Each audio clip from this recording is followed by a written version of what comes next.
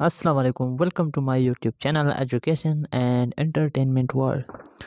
Friend, in the last lecture we have discussed about biography literature of Esther Coleridge and introduction and the major concepts included in biography literature. In today's lecture we will discuss uh, the chapter 13 which include imagination and its two types primary imagination and secondary imagination so, let's start what is primary imagination and secondary imagination. उसके types को discuss करेंगे।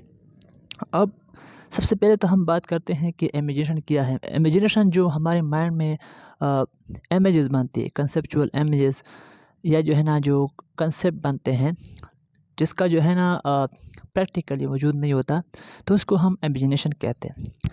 सो imagination के two types हैं। सबसे पहले हम बात करते हैं प्राइमरी इमेजिनेशन की। अब प्राइमरी इमेजिनेशन सबसे पहले हम डिफाइन करते हैं कि इसकी डिफिनेशन क्या क्या है। The divine ability to create is called primary imagination और the power of receiving impressions of the external world to the senses it perceives objects both in their parts and as a whole primary imagination क्या है? Primary imagination ये कि हमारे mind में जो कुदरती तौर पर जो कंसेप्ट बनते हैं या इमेजेस बनते हैं कंसेप्चुअल इमेज तो उसको हम जो है ना प्राइमरी इमेजिनेशन कहते हैं। Now, primary imagination is divine ability and every human has primary imagination. अब प्राइमरी इमेजिनेशन जो है हर बंदे में होती है। चाहे वो बच्चा है या चाहे वो बूढ़ा है हर बंदे में या कोई गर्ल है हर बंदे में प्राइमरी इमेजिनेशन होती है। अब ये क्यों किस तरह होती है? मतलब कोई भी बंदा हो वो जो है ना अपने उसके दिमाग में जो है ना कंसेप्ट बनते इमेजेस बनते हैं डिफरेंट डिफरेंट सिचुएशंस के या जो हम नावल पढ़ते हैं तो उसमें भी जो है ना हमारे माइंड में आ, वो सीन क्रिएट होते हैं। उसकी इमेजेस बनती है कि मतलब अब नावल में हम जो फॉरेस्ट की बात करते हैं तो फॉरेस्ट की जो है ना हमारे दिमाग में क्या होता है?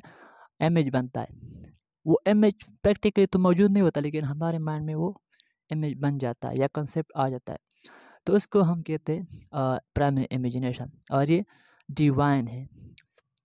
एवरी इंडिविजुअल डिवाइन मीन्स ये मतलब इंस्टिंक्ट है।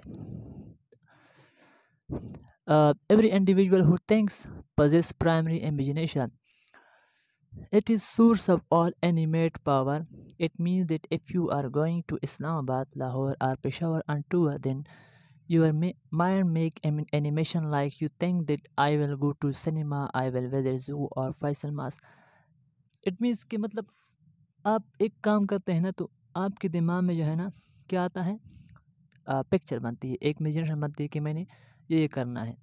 अब जो है ना, मैंने एग्जांपल दिया है कि मतलब आप जो है ना किसी टूर पे जा रहे हैं इस्लामाबाद या पेशावर या किसी और दूसरे शहर में तो आपके माइंड में जो है ना आता है कि मैंने एक नक्शा आप जो है ना आपके माइंड में आता है कि मैंने ये ये चीज़ें वहाँ पे करनी है।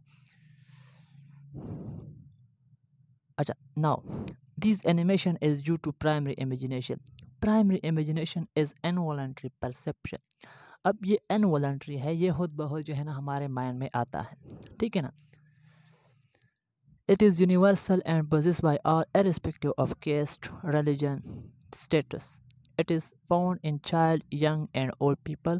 This imagination is called primary imagination. अब ये जो प्राइमरी इमेजिनेशन है मैंने पहले बताया कि ये क्या है हर टाइप के बंदे में जो है ना ये पाया जाता है इट मीन्स कि ये यूनिवर्सल है ये जो है ना एशिया में भी पाया जाता है एशिया के लोगों में भी पाया जाता है चाहे आप यूरोप भी चले जाएँ, वहाँ पे जो वहाँ पे भी जो लोग रहते हैं, उसमें भी जो है ना, क्या होता है प्राइमरी इमेजिनेशन होता है, या आप अफ्रीका चले जाएँ तो वहाँ पे भी प्राइमरी इमेजिनेशन होता है।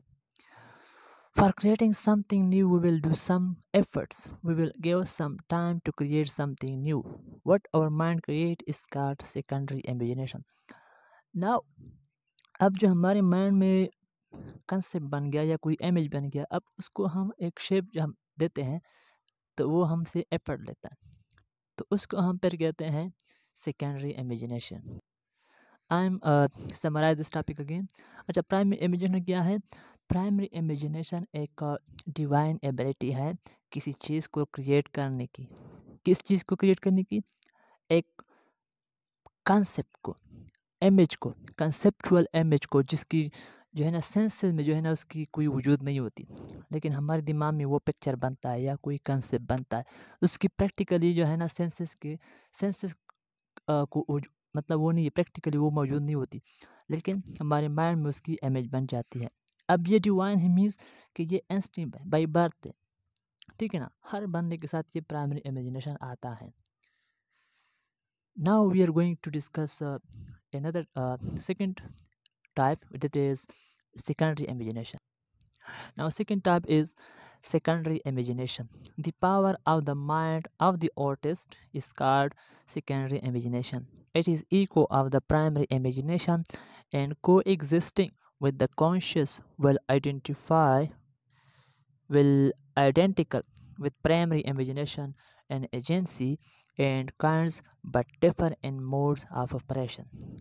Uh, now, unlike primary imagination, it is voluntary. It may be possessed by others also, but it is the peculiar and typical traits of the artist.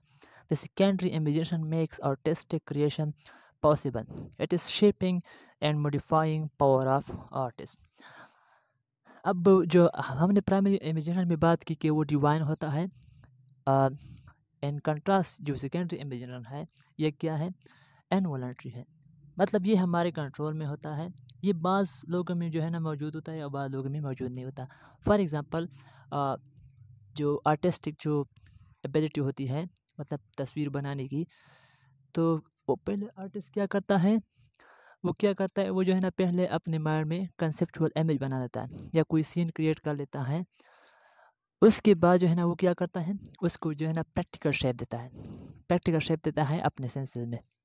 तो उसको अब जो ये शेप देने का जो काम वो है एबिलिटी है ये हर किसी में मौजूद नहीं होती ये जो है ना बाज़ लोगों में होती है ठीक है ना? जिसको हम सेकेंडरी इमेजिनेशन होते हैं आ, बोलते हैं।